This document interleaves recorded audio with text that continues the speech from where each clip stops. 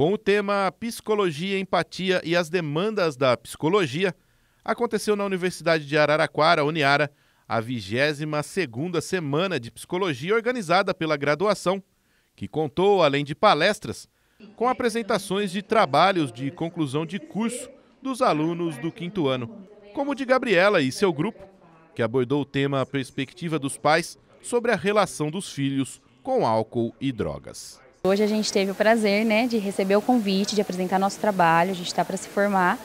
Então a gente recebeu esse convite da Simone, coordenadora, para estar tá podendo apresentar aqui, nesse último dia de, de palestras, o nosso tema. Então a gente fica muito feliz por essa oportunidade. Essa semana de psicologia a gente acredita que é muito importante para a nossa formação, que acaba trazendo alguns temas que não dá para a gente ver tudo né, durante a nossa graduação. Então são informações a mais que acaba complementando a nossa formação que a gente pode participar também da escolha desses temas, o que é muito importante. Dentre as diversas palestras, o encerramento da Semana de Psicologia contou com a da psicóloga Juliana Cristina Salgado, que abordou o tema Clínica Psicanalítica de Crianças, abordando aspectos clínicos e teóricos. Hoje eles me convidaram para falar um pouco sobre a psicanálise infantil, a clínica psicanalítica com crianças Acho que é uma troca muito interessante, a oportunidade de duas profissionais poderem trocar experiências, contribuir com a formação dos alunos da Uniara. Perfeito. E como que você vê essa, é, a importância de debater isso no ambiente acadêmico, mas também para a comunidade de uma forma em geral?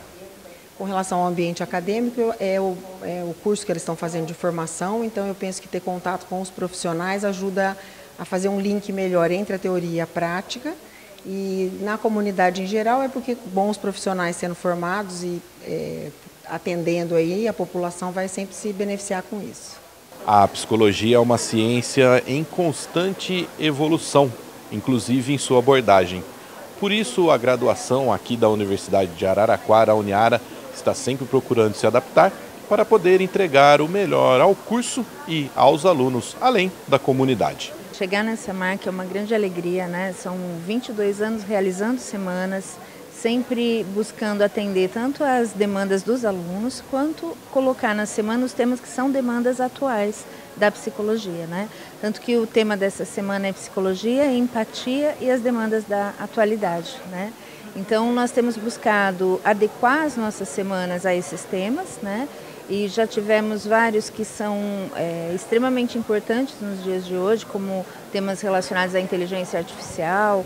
Nesse ano a gente está falando muito de inclusão, que é uma temática que está é, né, em alvo assim, nas mais diversas discussões da psicologia. E a gente tem feito isso também na nossa estrutura curricular do curso. Né? É um curso que hoje tem disciplinas que buscam andar para e passo aí com aquilo que surge de mais moderno na atualidade. Até porque, Simone, a psicologia ela vive em constante evolução assim que ela acompanha o ser humano. Né? E a gente vê também a sua abordagem hoje com o advento da internet, você até mencionou a, a, a inteligência artificial. Como que o curso da Uniara se adapta a isso? Olha, nós é, somos um curso bastante generalista, né? então a gente procura apresentar para os alunos as mais diversas abordagens. Então nós trabalhamos com as três grandes forças, grandes forças da psicologia, né? que são a psicanálise, a existencial humanista, a fenomenológica e a cognitivo-comportamental. E dentro disso a gente procura ampliar né, para aquilo que tem de mais novo, como as novas ondas dessas teorias, né?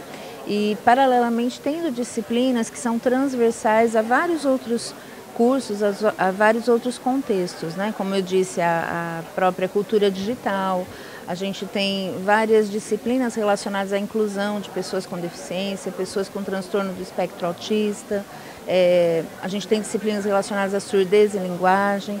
Então, demandas que são da nossa sociedade atual e que a gente procura realmente colocar para reflexão dentro das nossas disciplinas.